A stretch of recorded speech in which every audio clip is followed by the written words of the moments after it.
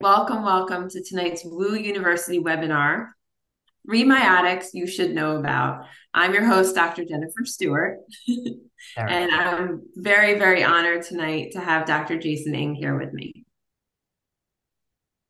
Thank you to LENZ Therapeutics for exhibiting at tonight's event.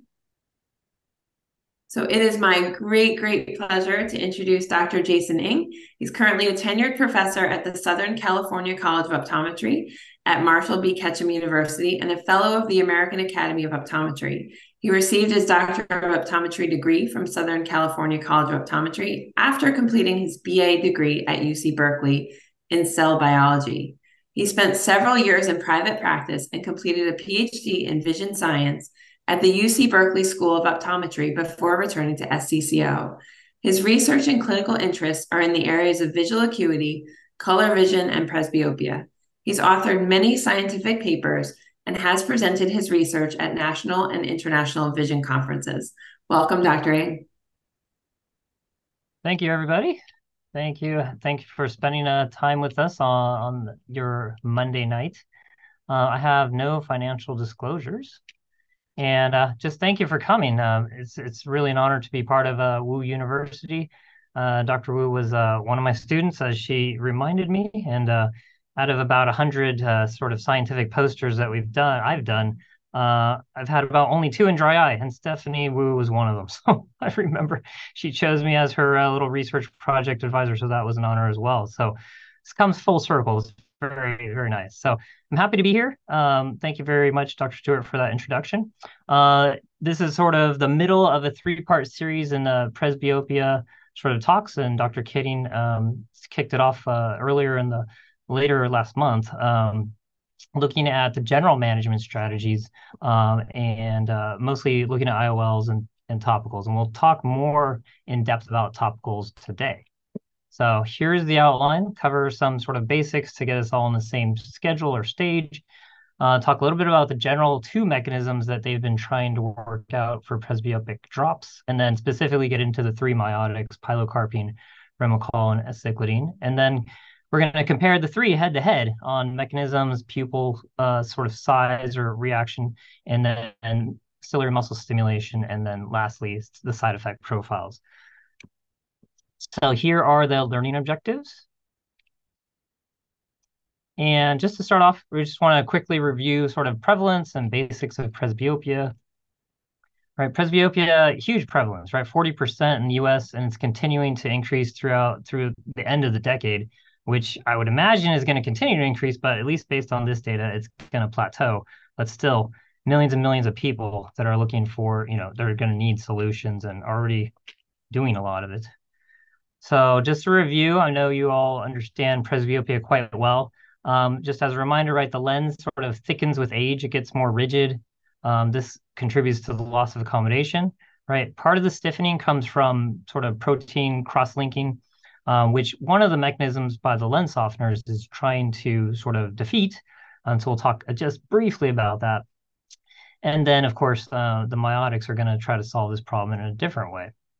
Um, and as Dr. Kading said last time, you know, presbyopia is kind of on a spectrum um, with the lens changes, right, heading towards cataract. And, you know, they're starting to call that now dysfunctional lens syndrome, um, which is a really good way to think about it. It's just, you know, presbyopia is part of a process that is getting worse and worse, right? So we are going to be able to intervene at multiple stages of that process.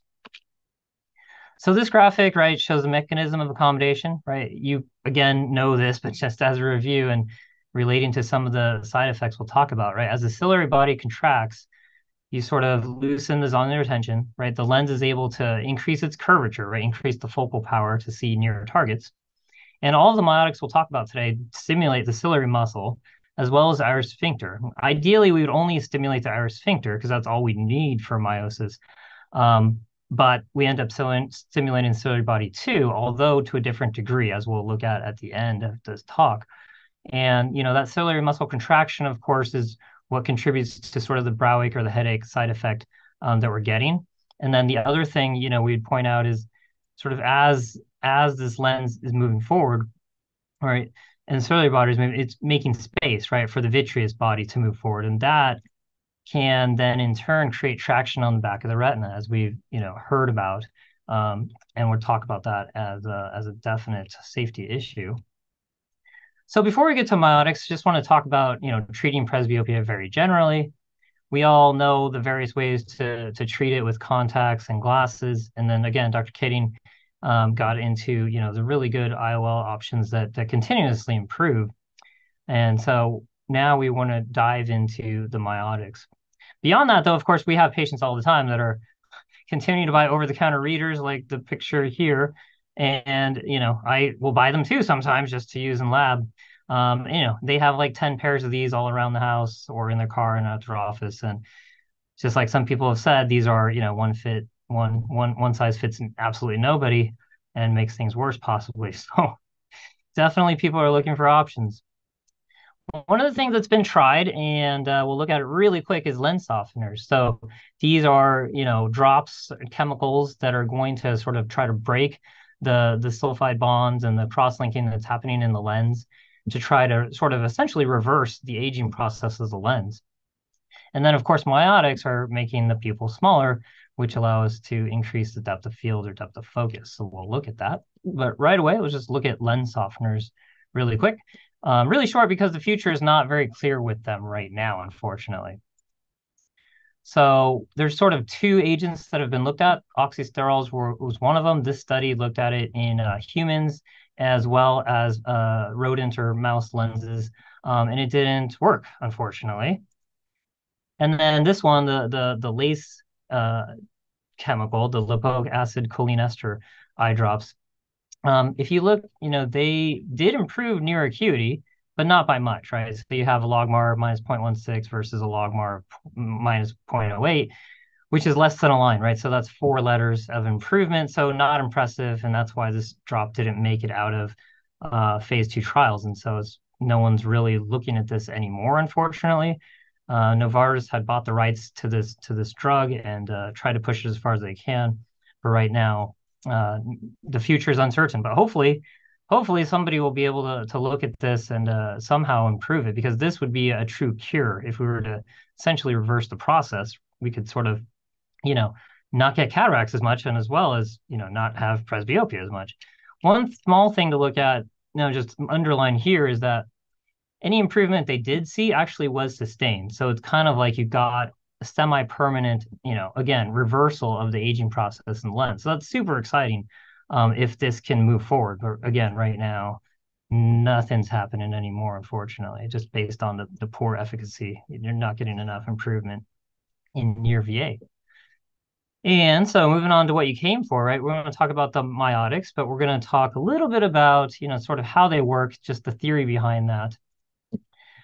They again are going to, you know, make the pupil smaller to give you better near vision. And this again is more of a treatment, you know, as a, as a management option, definitely not a cure. One interesting thing about um, the idea, though, of, of, seeing through a you know a miotic pupil versus just an ad, um, you know, just last week I was seeing a patient, I was doing you know prescribing their ad, and I was it was a pretty high ad, like 275, and you know I was building it up, and and they were telling me, I, well, I was asking them, do you see the bottom line now, right? And they're like, yeah, I see it, but I don't like it. I'm like, why? So it was clear to them, but they didn't like magnification. Like they felt like it was unnatural. Like they didn't want their ad to go higher. So that was an interesting observation. I hadn't really heard that before. And so it was kind of like, yeah, you, you want a more natural appearing near vision that, you know, a, a miotic is kind of perfect for that in a sense. Although that ad, it was so high, I wasn't going to try to do that. But um, that was an interesting observation. I hadn't really thought in my mind, like, seeing up close, you know, with magnification versus just a miotic, uh, why is there a difference? Because you see clearly, but they were bothered by the magnification itself. So it's just kind of an interesting observation. So a little bit of theory, right? There's sort of three ways we can actually improve our, our depth of field or depth of focus. So one is to actually change uh, the, the working distance, right? Move things further back. This is what our patients are already doing. Their arms are getting shorter. And then number two is changing the focal length, right? So that's what we are, we're, lens is naturally doing with accommodation. It's getting more curved, getting more plus power. So both of those things the patients, you know, are already doing before they sort of uh, let us try to intervene and help them. and so uh, changing the aperture size is really what topicals now are, are you know, going after, making the pupil smaller. So just tiny bit of optics. Uh, on the top part, right, you can see with a large aperture, you've got, you know, really peripheral rays. And those more peripheral rays essentially, you know, really off axis. And so you're going to get more spherical aberration, more higher, higher order aberrations. And so when we make the aperture smaller, right, the pupil smaller, we cut those out. And so we're going to get a smaller blur circle and also a smaller sort of interval um, of of uh, the circle of least confusion if we have one, right? And so that essentially is improving our depth of focus. Um, and just, you know, technical semantics. Technically, depth of focus is on this side, depth of field is on this side. Uh, a lot of us, we just use it interchangeably, but yes, they are technically different, but doesn't really make a difference when we're talking to uh, to patients. So talking about, you know, the pupil a little bit more, you know, is there sort of an ideal pupil size to get the job done in terms of reading vision? So we're going to spend a little bit of time on that because that's really a, a, difference between the, the three miotics and, and the pupil sizes that we're getting. So we want to look at that in pretty good detail. So first, you know, let's remember our pupils, they, they naturally change in size, right, with light level right? And more light always gives better vision function, right? More light level, we have better color vision, better visual acuity, better contrast sensitivity. So more light is already helping. More light, of course, also makes the pupil smaller, which naturally already increases our depth of field. And so more light, just remember, is always a win-win, right? Light is your friend. That's what uh, Tom Quinn says, right? With with multifocal contacts, right? More light is always better. And same thing with miotics, right? Miotics, in a sense, um, are helping even beyond that amount of light. And so the same ways that light can help, the miotics can help too. A couple technical things I wanted to show you just to highlight. Uh, two log units on the x-axis here, that's about 100 candela per meter squared, right? Which is about the luminance of your eye charts that you're using in your clinic. And so the pupil size there is around three millimeters, okay? Our photopic, what we call a photopic daytime level, about three millimeters. Then if you look at a zero log luminance, that is closer to the mesopic light level. And that's important because the FDA trials on these miotics are sort of using the mesopic light level as sort of the primary outcome measure. And you can see there's a big, there's a, you know, there's a decent confidence interval range there, but it's somewhere in the four to five millimeter range when you get down to, you know, lower mesopic light levels. And so uh, I just want to point that out because when we start looking at the data and we talk about, hey, what what were the pupils before and after? You know, it's important to understand the the lower light levels we're doing the trials in, and then the photopic or daytime levels. We are doing some of the trial data in, but you know that's really to me more important in terms of um, daytime regular vision with these drops. And then here's a study, right? This study was actually focused looking at um, pupil size and success in multifocal contacts. So I'm not using it for that. Um, but what it does show you is that, you know, with age, so here you have the pre-presbyopes 18 to 39, here you have the early 40 to 54, and then what they call the established presbyopes. And you can see, yeah, for sure, their pupils get smaller with age. Okay, we know that already. However, if you look, this is a mesopic light level again, just like on the previous graph, like that zero line. And then here is your photopic level, your daytime level. And kind of the take home point is light, you know, light itself makes a much bigger difference in the pupil size than just aging. Okay. So light is still like your best option, especially in early presbyopia. More light solves everything, right? If, if you can.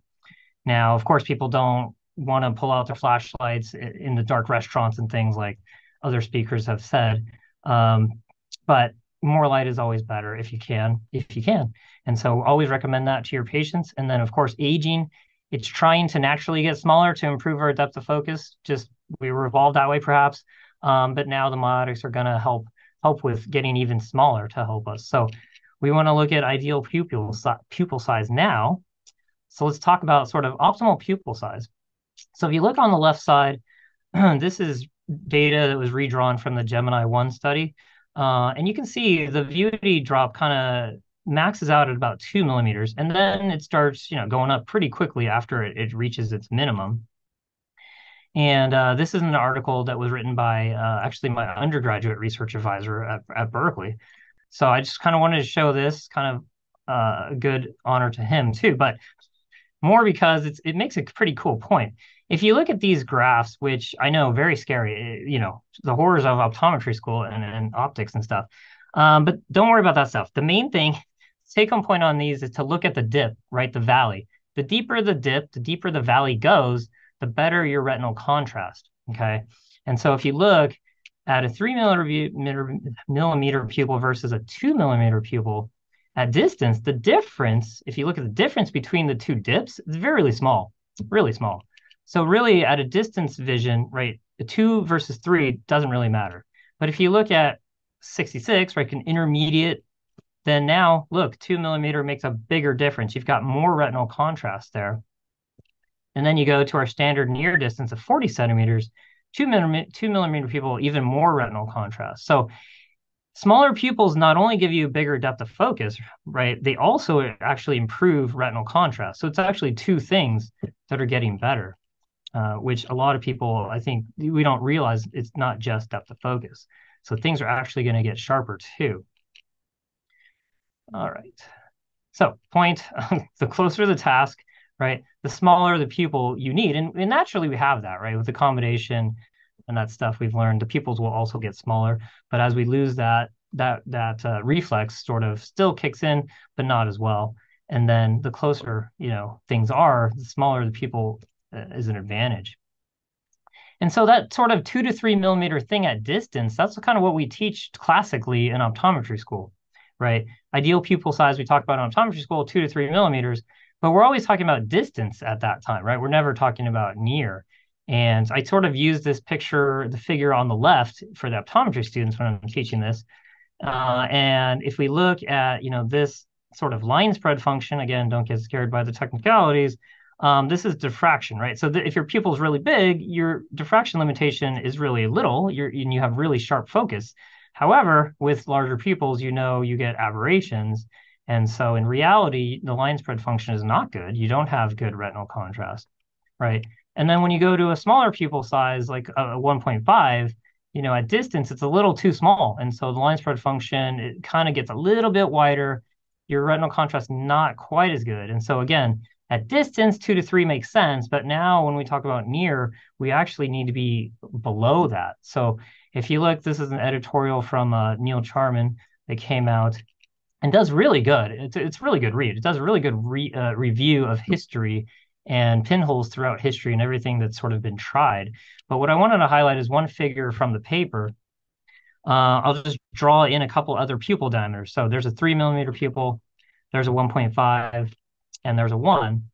And so the idea is, you know, if we start at a three millimeter pupil, because remember, photopic light level, daytime level, we were around three, and we go down to two, which is kind of what Vuity's hitting sort of the gain on the depth of focus, you know, it, to th- there it looks like uh, I don't know a quarter to a half a which obviously you know if you've tried Vuity, you know you get more than that, but this this is just you know we'll think in relative terms.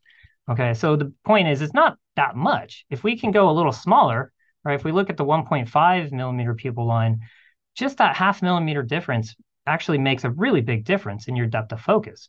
And so it definitely can improve your your near vision if we can get even a little bit smaller than two. And then beyond that, you know, if you go below one, it, it's definitely a problem because your pupil gets so small that we're blocking off a lot of light. And then your balance between sort of depth of focus and light level is thrown off. You don't, you just don't have enough light to do well. So then, you know, we also realized that this whole idea of pinholes and stuff, right? The small aperture optics that uh, is not a new idea, right? The inlays, the KAMRA inlay, and Apthera IOL that Dr. Kading talked about last time.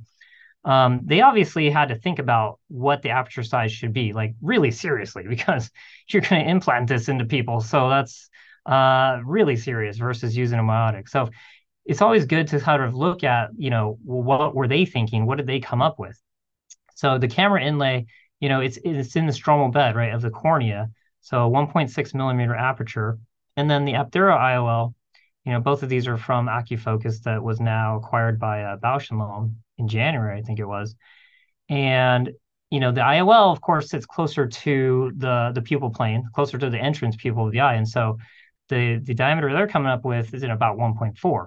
But the general idea is anything you know, corneal to to right at the pupil margins around 1.4 to 1.6 is kind of what they found as the magic number. So that makes a lot of sense that a probably should be in that range, sort of based on all the research that's been done already for that. So let's see. So the actual drops, right? So we'll start with what you know, right? The pilocarpine, and there's actually multiple sort of uh, pilocarpine containing drugs coming out. But the one you know of already is, of course, Vuity, right? FDA approved, sort of first in class, almost two years now uh, that it's been out. It is uh, preserved with BAK, which uh, we'll talk tonight. A lot of them are are going to be preservative free now, which is great, right? Because we know BAK disrupts the ocular surface, and if you're using it chronically, if, you know, for presbyopia, which you probably want to, um, then that's going to be a problem.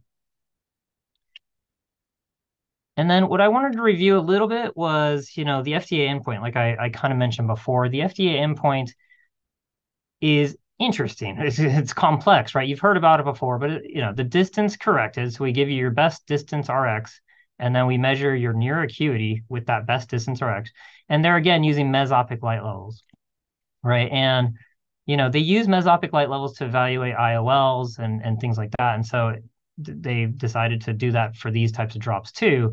Um, I mean, I personally, as a as a as a fighting against presbyopia person, I, I want to know, you know, how my vision's going to be at photopic or daytime levels.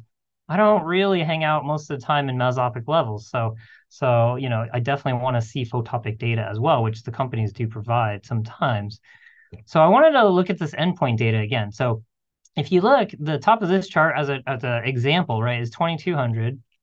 And the FDA is saying, hey, three or more lines is what we want to see. Okay. This is a distance chart, but we're just using it as a near example, right? So three lines is a is a doubling. So you go from 200 right to 160 to to 125 to 100. So a three line improvement, right, is it sort of doing two times better. And that has been used forever, right? Even in the diabetic retinopathy trials back in the late 70s, all the AMD trials, it's a very common FDA visual acuity endpoint.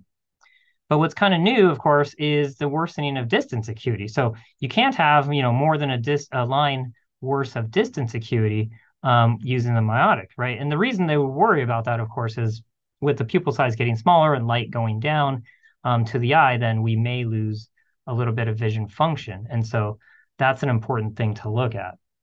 And so that endpoint, you know, is fair. The second thing they sometimes look at is well, instead of three or more lines, how about two or more lines? So two or more lines, if you do the math, comes out to about 60% improvement. And then one line would be, as I said over here, about 26% uh, if you only did one line, which wouldn't be enough to get through. So that's an endpoint, two or more lines. And then the other endpoint that you'll sometimes see is a 2040 endpoint, right? Which a lot of people say, hey, functional vision, that makes sense. Um, my only issue with it is if you look at some of the trial data, some of these patients are coming in 2050 baseline. So then they're going to hit that endpoint pretty easily, the 2040 endpoint. And so you kind of want to look at that closely and say, hey, is this really making that big a difference? It depends on where you start from, right? So a lot of that, it, it kind of all this this chart kind of reminds us, hey, patient selection is kind of important, right? If we want someone to be sort of impressed by the drops, we don't we don't want to have 2200 near acuity get them to 2100 and and they're still not impressed, right? So patient selection typically I would say, you know, 2060 to 2100 is is probably where you want to be. Um, but of course, it varies. You know, some patients they don't need to see really, close. you know, they have big computer screens and can make things bigger. So a three line improvement, even from 2150, you know, they may be quite happy. So it really just depends, of course, on your patient's demands and what they really want it for. But, you know, without knowing an individual patient's needs, you know, I would say that 2060 to 2100 is probably where you would want to start thinking in terms of um, patient selection. And I think as the new miotics, co- you know, come out and maybe get better, you know, we can expand that range of, of patient selection based on acuity. And so that's going to be really exciting if we can do that. Okay. So here's the Vuity data uh, from the package insert. So this is Gemini 2 um, data. And, you know, Vuity definitely works, right? If you look, the the placebo group about uh, right there, maybe, I don't know, 15, no, 14, 13%, whatever. and then the treatment group, you know, close to 40%. But that's at one hour, right? The FDA is using the the sort of three hour time point right here. And there you're looking at placebo 11% and treatment group 26%. So you kind of think about it as like a two times difference between the two groups. Okay. And then at six hours, it's it's they're con the, the curves are converging, right? And you know, when I'm talking to my graduate students and we're you know we're talking about research and methods and stuff, you know, one thing we we look at these graphs and we always ask, you know, where's where's the error bars, right? Where's the variability? Um, because if you you know these if you look at the error bars, they could be completely overlapping.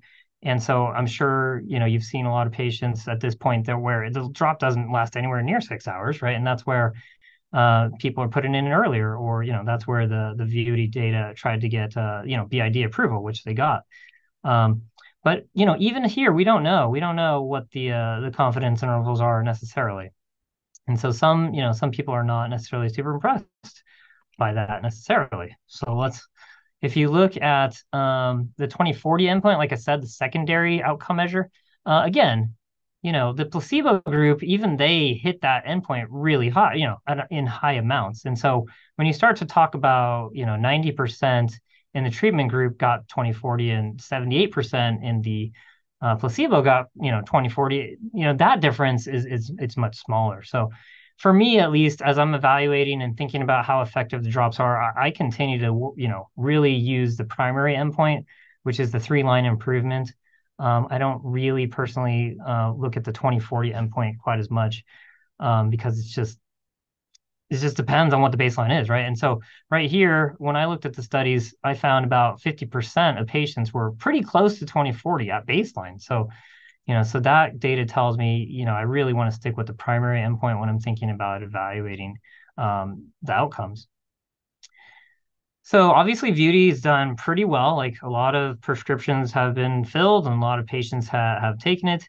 Um, and Vuity got, you know, BID approval uh, after the Virgo trial. So we'll look at the data on that in a little bit. And in that study, of course, they they they took the second drop at six hours, um, but it's approved, you know, for anywhere put the second drop in anytime after three hours.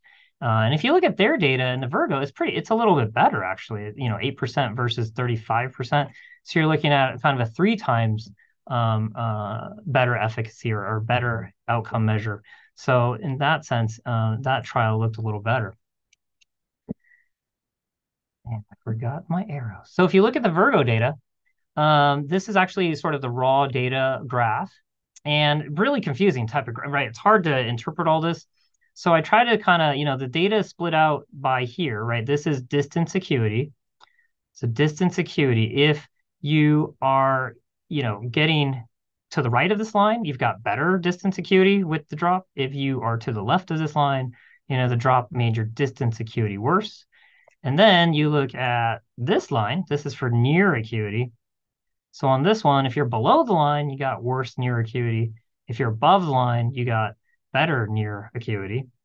And so you kind of just draw the lines. So this one is, again, a three line improvement. Three lines would be 15 letters. So you'd have to be above this line to hit the outcome measure of getting three lines better.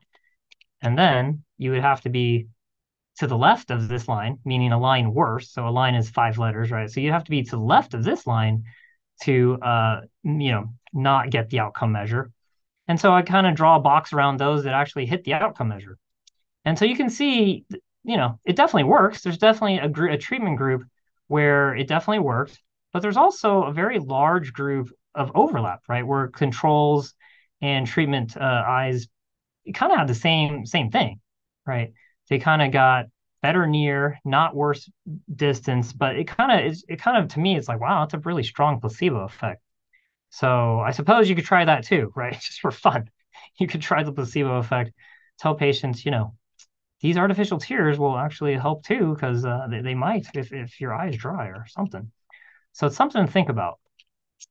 So in terms of VUITY, right, how's it going? Right, we know we know they the rollout was a little a little rough. Um, my understanding was right the approval came a little before the company expected, and uh, the, the the marketing guys just you know went went crazy on that, and not everyone was really ready about what was about to happen there.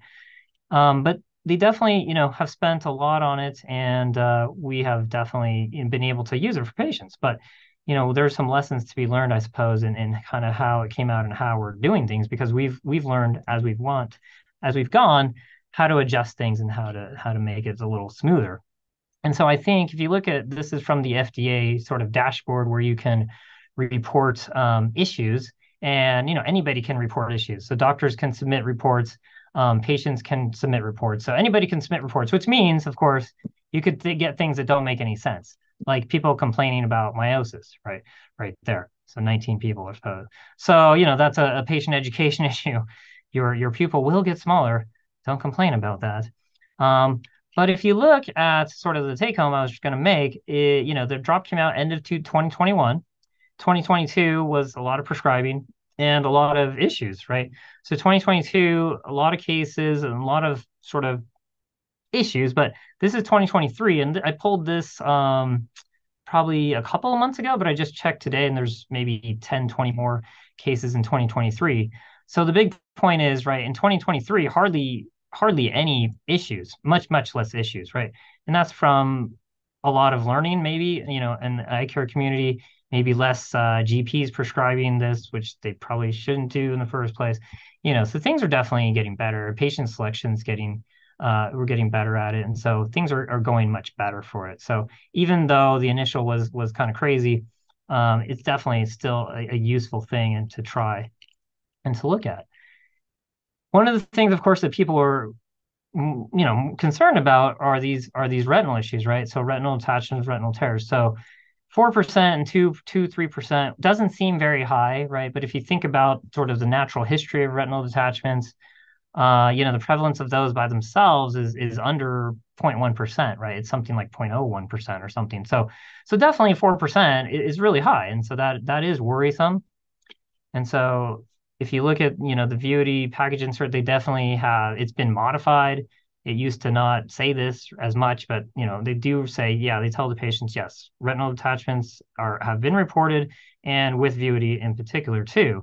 Uh, it used to just be it's possible with miotics, right? With pilocarpine back in the days, that was possible. And so that's been adjusted. And so we all have, you know, definite responsibility to educate our patients about that and warn them of that risk and make sure we're not putting them at risk, you know, if they have pre-existing retinal issues. So this study, this was the first uh, sort of report of that type of thing that came out um, online in May of 2022. Since then, there's been two or three more.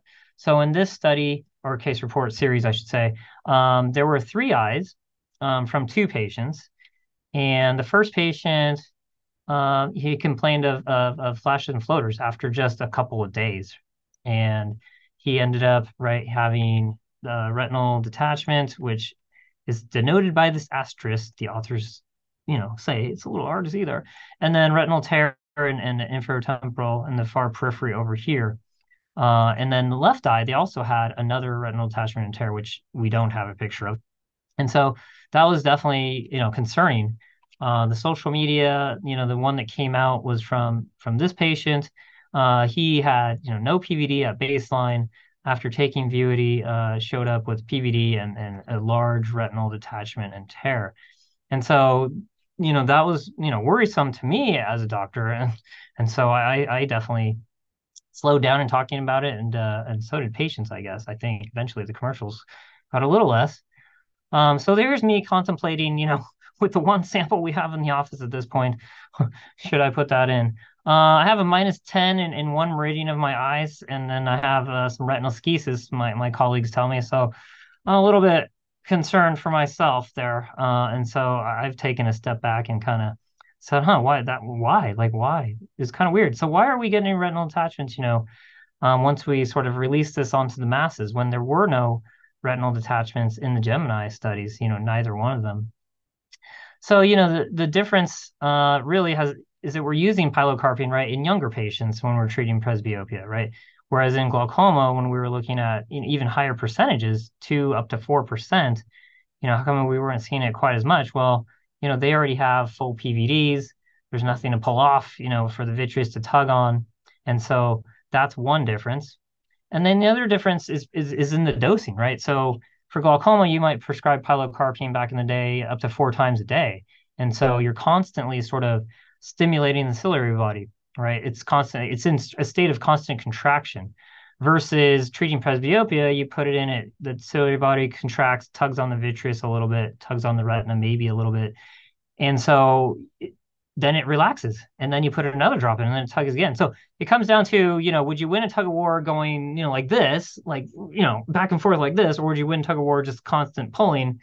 You know, if you've if you've really done well at tug of war, you know that like this really messes up the other side. So so you can win a, a game of tug of war and sort of pull off your retina better if you you know contract, pull it, let go, contract, pull it. And so that's another likely reason that we're maybe seeing more retinal issues with this versus you know, pilocarpine even at higher concentrations when treating glaucoma. So, so that's definitely something to, to keep in mind.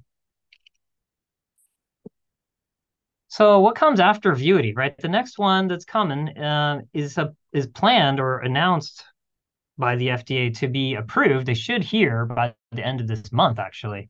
It would have been neat if it was approved like right before this talk. Um, so the CSF1, this is 0.4% um, pilocarpine, so not 1.25%. It's lower lower by like three times, um, but it's supposed to have you know similar efficacy. So I'm not sure how that's possible. I'm not really clear. Um, there's no preservatives, right? So Vuity is preserved. Like I said, no preservatives is going to be much better for the ocular surface. And they went straight for BID dosing, right? They didn't even try the QID dosing step, um, straight to BID dosing. And again, the FDA is supposed to announce something on this by the end of the month. So pretty soon, you know, we'll have another drop that's uh, pilocarpine again, lower dose. And so we would expect maybe less side effects, but I'm not sure, right? If, if it has similar efficacy, it, it might have just as many side effects. I, I don't know. Um, the only thing I've ever heard from a speaker is that, you know, you know, why can they do a third of the concentration and still get good efficacy? It, supposedly because their vehicle somehow is better. Um, but, but, I don't know. I, I, don't know. We have to see when the full data comes out. But in my mind, if you're able to get equal efficacy, you're probably going to have equal, you know, safety profiles. It can't. I don't see how it could be safer on less dose if it's just as effective. Because again, the Vuity people would have, you know, done all the studies, right? They did the dose ranging studies to figure out the best concentration for what they were using. So, well, time will time will tell what what happens with that. One thing to point out is in this study, in the in their trials, right, they're using older patients. So Vuity normally enrolled 40 to about 55. So in this in these trials, you've got patients, you know, a decade older. So that's good. So they're showing efficacy in even older patients. And other drops we'll look at continue to push that age range, which is which is great the next one we'll look at this is a you know the microline device the Optejet thing that they're looking at for um, delivering multiple types of medications through but right now looking at 1 to 2% pilocarpine. And this one um, I, I, I don't really you know understand it per se. Um, they advertise it as like um, an as needed or uh, on demand type of uh, of drug but I'm not really sure, right? As a presbyope, for me, I would I would love to just put in one drop and be good for the rest of the day and not think about that. Um, you know, and on demand, it, it makes me think of like like Viagra or something. Like, am I am I gonna have to plan my day out around around when I need to see near? I'm not really sure where the market position is on that. Um, so so that's uh, take it for what it is. I, I am not sure how you want to um, do that, but when Vuity is working, that you know, uh, I, I, for a longer time, it doesn't uh, not necessarily going to be good. In terms of their age range, um, in those two studies, they're kind of looking at similar. They didn't really push the age range like uh, the CSF one, so they did get up to 60 in in one phase three trial, but then back to 55 in the other phase two. So we'll see what happens with this one. And then the next one um, is Nyxol, right? This is 0.75% phentolamine and they're combining it with pilocarpine. And you probably heard about um, Nyxol because just five days ago, uh, it came out. It's now called Ryzumvi. So Ryzumvi for um, reversal of mydriasis is just phentolamine by itself. Um, in the studies I've read, the phentolamine by itself, you know, wasn't doing great for presbyopia, and so that's why they're adding the pilocarpine. um, to get the better effect. But just by itself, it's working well as a uh, sort of anti-mydriasis drop. So that's just coming out. Um, just got approved five days ago, so it's supposed to come out uh, first quarter of 2024 uh, for production and, and purchase. So that'll be interesting. I, I would imagine the optometry students around here are going to beg for that so they can get back to studying better. so we'll see. Not preserved, um, just like a lot of the newer ones coming. So QD dosing, that's great. You know, QD dosing, not not uh, they're going to try for a longer duration and not worry about you know having to do BID, which is really the future to have a drop that lasts the whole day. So there's a lot of you know stuff on these slides. I'm just trying to highlight for you so you don't have to read through everything. They again, just like CSF1, have pushed sort of the age range, which is great. You know, the Vuity again at 55 now. They're looking a decade more, so we can use this in older patients with with more confidence in a sense. So that's great. And then the next one we'll look at is aceclidine by LENZ. So this is a totally different drop than pilocarpine. So it's quite exciting. Uh, again, really busy slide. Don't try to read it all. Um, they're looking at two versions of this, sort of with and without brimonidine. Um, they call it the 100 for just aceclidine by itself and the 101 um, for brimonidine in addition. Um, their concentration of brimonidine is a secret right now. I asked them directly. It's still a secret right now. I'm showing you phase two data, um, a little bit older phase two data in this picture, but you can just see it's crazy dramatic. The the the sort of mesopic pupil size of 5.1 getting down to 1.5 millimeters, really small, right below the two millimeters that we looked at with Vuity. And so we'll look at pupil data a little bit more specifically, but just it just crushes the pupil right away, and then it, it keeps it there. It's pretty amazing. Um, less myopic shift supposedly, and so we'll look at data on that, right? Myopic shift caused by you know ciliary body stimulation, which you know, AbbVie spins as, hey, it's a double action for helping you with reading. You're, you've got the miosis and you've got this myopic shift. Um, but truly, we don't really want that because that's, you know, side effects of that um, are an issue. And so less myopic shift, we'll talk a little bit more how it kind of does that. And then amazing to me, right? They push the age range again another decade out, right? So the other drops, CSF1 and, and Nyxol, um, you know, went up to 65-ish or 64. Now, you know, aceclidine has patients in their trials in their 70s. Really amazing, right? And then including, uh, you know, post-refractive surgery patients, pseudophakic. So amazing. And then again, their pupil size, once they've got it down, is holding in there for a very long time, which we'll, we'll compare all three head to head on another slide. And the next one we'll look at is Brimochol, right? Brimochol is carbachol and brimonidine.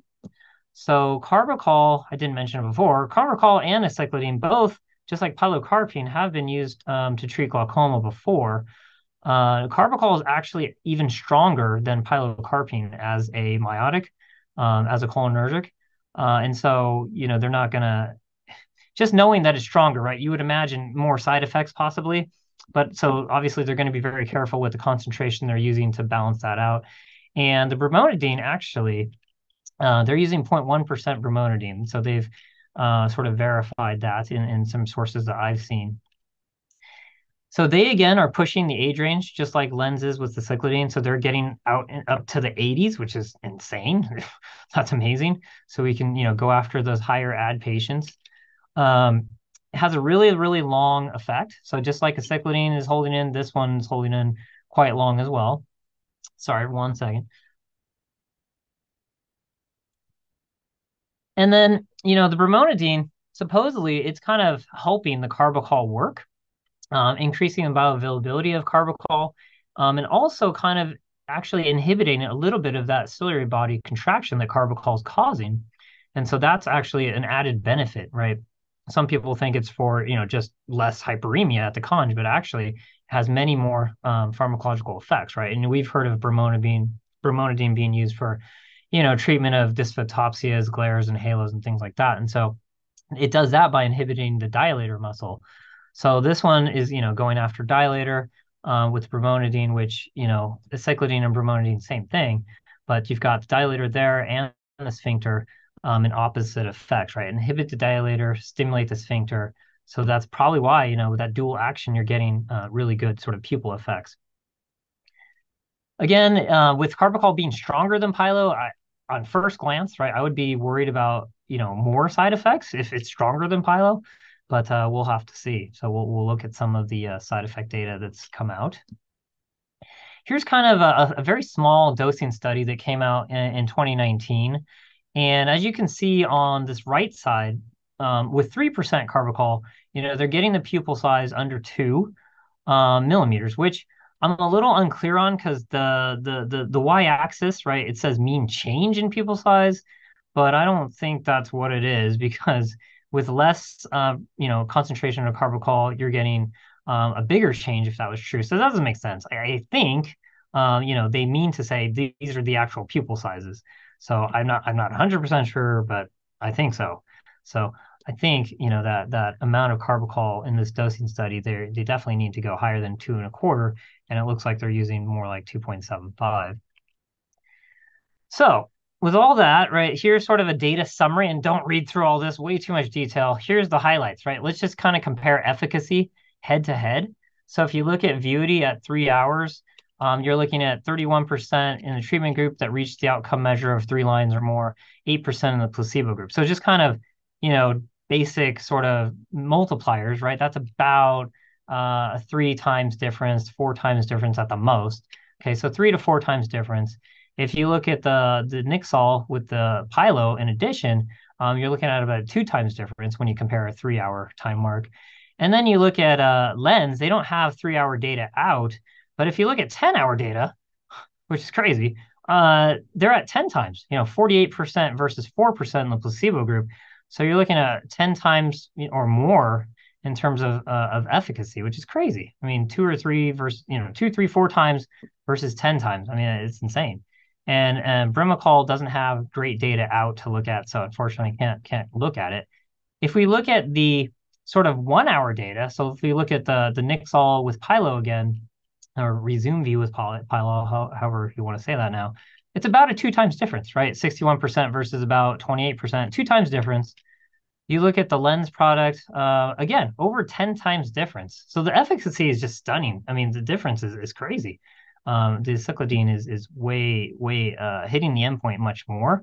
Uh, and part of it, I mean, if you look at the controls, for some reason they got really good controls. Like you know, their their controls are not getting three lines of improvement. Uh, it's kind of weird how you know these controls almost a third of the placebo groups getting three lines of improvement. Like, what happened? I, am not sure. So that remains to be seen when we see the full data sets. The other thing to point out, like I've been saying, um, very cool, right? Very neat. Uh, the Vuity, you know, they typically went up to 55, but the the newer drugs being studied, they're going up to 70s and even 80s. So really exciting to treat, you know, more perhaps advanced presbyopes uh, with this. Really amazing. So now I kind of want to do like sort of head-to-head comparisons on the three miotics, right? The Pilo, the Carbachol, and the Aceclidine. And just for fun, I'll throw in the fourth one, the phentolamine, um, which doesn't, you know, not working super great. That's why they added to the added with Pilo. Um, but so we don't know what the combined effects of that are in terms of the data out that I've found.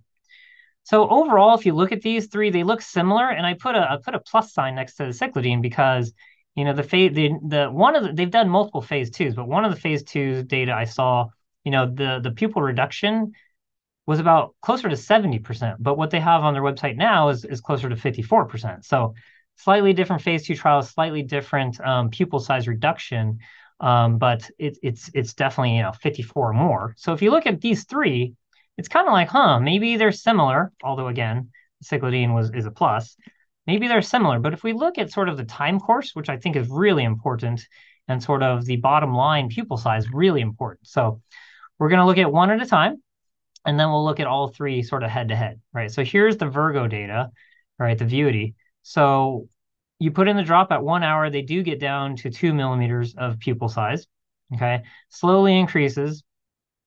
And at about six hours, you put in the second drop of, of Vuity and you get back down to about two millimeters. Okay.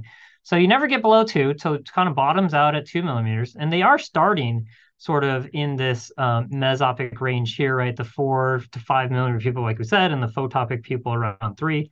So that kind of all makes sense. If we look at the aceclidine, they are you know, way down, way down at 1.5 millimeters. Really just makes the pupil really small. And then the main thing is it really keeps it down there, like really, really down there. And then it starts very slowly going back up and staying there, hanging in for a very long time. Um, one little thing, you know, their pupil size is a little small, right? For for a mesopic data point, I'm not sure why this is happening, like why it's not more like four. Um, they are using older patients, and so that could be why their pupils are, are naturally a little bit smaller. And so you may say, hey, well, going from three and a half to 1.5, that's not as dramatic to me. Um, but again, that's it's it's going to depend on you know seeing the full data set because in their other phase two uh, that I showed you, you know, they were starting at five millimeters and getting down to 1.5. So it's definitely working, even if you have a larger uh, starting pupil size. And then here's the Brimochol data. So here they are getting down again. Um, so they're showing you, you know, carbachol by itself, brimonidine by itself. That was the trial they had to do to show the combined components were, were doing better than individual. So the Brimochol, if you look at the lowest one, right, this is the one we want to look at. So it's getting down to about two millimeters, but not not even two or below. And then it's it's you know cranking up there. So comparing, you know, all three, it's really hard to look at those. So what I tell my master's students, you know, put these on the same scale, right? So that's what I did for you. Sort of measured the y-axis, measured the x-axis, put them on the exact same scale. You can measure it with your finger if you want. And so I put the 1.5 millimeter pupil at the same level, put the 4 millimeter pupil at the same level. So now we can like talk about them all at the same time, right? And so if you look again, Vuity gets down to two, Brimochol is getting close to two, but not there. But LENZ, you know, the the aceclidine definitely getting below two. So it's definitely got, you know, sort of the strongest um, pupil modulation, pupil effect. And again, they're starting at 3.5, which is higher than other people. Um, but with their other phase two data, as far as I can tell, it, you know, it should get down there um, quite well too. And then the other thing, again, when you get down to two for Vuity, there's the slope increase is decent on here. And if you look at Brimochol too, the slope is pretty pretty decent. But this one, aceclidine, is pretty flat and it's pretty amazing. So dramatically different. Dramatically different. So if you look at mechanisms of action, so you know, I started researching this and uh, that definitely went down the rabbit hole and, and trying to remember my PChem and pharmacology. Um, but I got really long and you don't want to see all those slides. So trying to break it down simply, right? These uh, these drops they all work on the muscarinic receptors, right? They're all muscarinic cholinergic agonists, which means they they they bind to acetylcholine receptors. And as far as everything I've read, um, all three miotics that we're talking about um, are non-selective agonists for all five uh, muscarinic receptors. So I could be wrong. I'm still trying to learn more. Maybe the companies will tell me, but trying to do all my independent research, that's what I've found. The most receptors uh, of the of the five types are M3, right? M3, there's you have them in the trabecular meshwork and the ciliary muscle as well as iris sphincter, right? And so this is why all three drops have been used in glaucoma because they have effects at the trabecular meshwork to open it up a little bit to reduce the IOP. So really quick on mechanism of action, actually, I won't go through that so much. Um, sorry, one slide I definitely wanted to get to, right? So if you look at uh, induction of uh, uh, accommodative spasm, so pilocarpine in this study from about 50 years ago, about three diopters of myopia induced, and aceclidine about a quarter. So really dramatic difference. Um, I haven't been able to find a carbachol um, equivalent study. And then lastly, um, really quick, carbachol again is the strongest miotic, um, but pilocarpine kind of stimulates the ciliary body the most in terms of ratio. So if you look at aceclidine, you know, they would need a lot more aceclidine to stimulate the ciliary body. And so that's likely why, you know, they're not seeing as many headaches. So just super quick, sorry I'm running out of time. 15%, generally 10 to 15% headaches with pilo um, and uh, the Virgo trial showed about 10. And then if we look at Brimochol, they're showing around that to around 10, but more irritation on instillation So that's not so great. And then aceclidine, this is the only slide that has sort of non-public data. This is, I, this is the only way I could get this data to actually ask them. Um, they're showing, you know, just slightly more than 5% headaches. So that would be less than everyone else at this point. And uh, no other side effects that were above 5%, which is sort of the FDA um, cutoff. So in closing, um, you know, ideally, you know, a miotic would do all this, and we're not there yet, but I but in a very short time, you know, we're getting there, which is really amazing. And then lastly, sort of head-to-head comparisons. You know, for the future, I think we're going towards you know once a day dosing, no preservatives, which is great, and then much longer durations, less side effects, and we're able to now you know hopefully get into treating even higher as in older patients.